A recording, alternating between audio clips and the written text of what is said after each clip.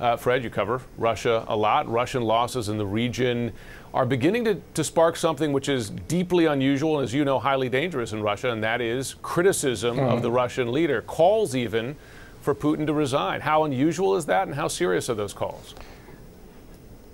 Yeah, first of all, it's very unusual, Jim, and it's public criticism, which is something that you really very rarely hear. And there's certain things that we've been talking about, like those 18 local deputies, which uh, put out uh, an open letter calling for the resignation, even of Vladimir Putin. And you know about that letter, it is obviously something that is remarkable and noteworthy. But these are folks who are on a pretty low level as far as the administration, uh, or, or, or generally the, the public administration in Russia is concerned. And it's really not many of them. But you do hear a lot more criticism than you have in the past. Criticism, of course, in itself is something that's unusual because of the way that the opposition has been marginalized. But you even have people like, for instance, Ramzan Kadyrov, who is, of course, the Chechen strongman, a staunch supporter of Vladimir Putin, who came out and said, look, he thinks that serious problems exist and that big mistakes have been made. He said he's going to take that up with the military leadership of Russia. And then, if that doesn't help, he's going to take that up with Vladimir Putin himself. So that's certainly something that, at least in that form, we haven't heard in the past, or at least not to that extent, Jim.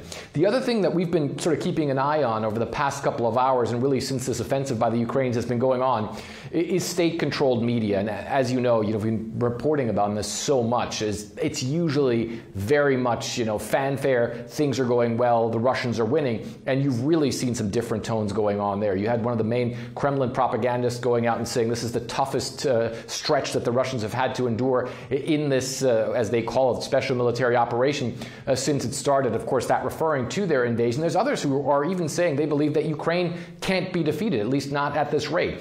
I think right now the big signals that people are looking for from Vladimir Putin and from Russia itself is where does it go next? Is there going to be an attempt at an escalation on Russia's part? Could there be some sort of mobilization, even though the Kremlin today once again has said there are no plans for that? Um, is Russia going to try and amp things up? I think that's what people are going to be looking for. But right now, it really seems as though the Russians very much are stunned, Jim. Frederick Pleitgen, thank you so much. And you, you put it so well. So let's begin there with this discussion with retired Lieutenant uh, General Mark Hertling, former commanding general for the U.S. Army. Europe and the Seventh Army. Uh, why? I, it's a simple question, but I'm fascinated yeah. to know what you think about why Ukraine has been so successful on this push recently. Well, first of all, Poppy and Jim, I'd like to say I'll add to what everyone else is saying. I'm euphoric about Ukraine's advance in, in Kharkiv and Kherson, as well as their continued active defense in the Donbass. But this was all about a brilliant advance resulting from things that we've been talking about from the very beginning solid maneuver plan, deception, advanced weapons, use of intelligence, leadership, and morale. Uh, it, that's what the Ukraine army is bringing to this fight, and they're going up against a force that has extremely poor morale, bad leadership, dysfunctional logistics, and the inability to have practiced or trained on what they're trying to do. But having said all those things, there's still a lot of fighting to go. I am do not count me in with uh, those who are saying this is going to be over anytime soon.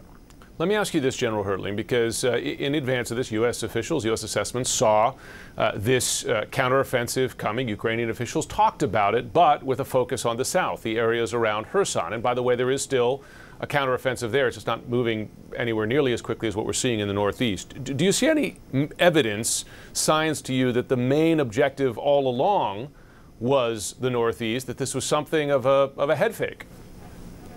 Yeah, that, there's all kinds of indicators of that, Jim. I would say that was what Ukraine was planning all along. Mm-hmm. Part of the reason why you're forcing Russia to face multiple uh, forces at one time. Uh, the one in the north, uh, which will bump up against as they as they continue on through Kherson province, it will bump up bump up against Luhansk Oblast. And that is the key to gaining some of the supply factors that Russia has been using, some of the hubs of railroads and roads and rivers. So if you can stop, as we've been talking from the very beginning, if you can stop the resupply and the logistics trail of the Russian forces, both in the north and in the south, uh, you're going to have a pretty good chance of victory against defeating an army that's using operational maneuver on a very wide front. The other thing I'd, I'd suggest, Jim, you're talking about a frontage of 1,600 kilometers. This is a large area. It doesn't show up on the maps we show, but this is a lot of fighting So if you can pull forces off one front or another, you have a better chance of defeating them in peace in piecemeal. Excuse me. I, I wonder, General, if you are stunned by this dissent coming from deputies in 18 different municipal districts in Moscow and in and around St. Petersburg. Uh, according to this petition they signed, posted on Twitter, they write criticizing uh, the Kremlin and the strategy. The actions of its President Vladimir Putin are detrimental to Russia, Russia and its citizens' future. We demand Putin resign from the post of the president and the Russian Federation. I mean, given their pretty low level uh, folks who signed this, but given the especially the crackdown on any dissent since this war began. I wonder how significant you think that is.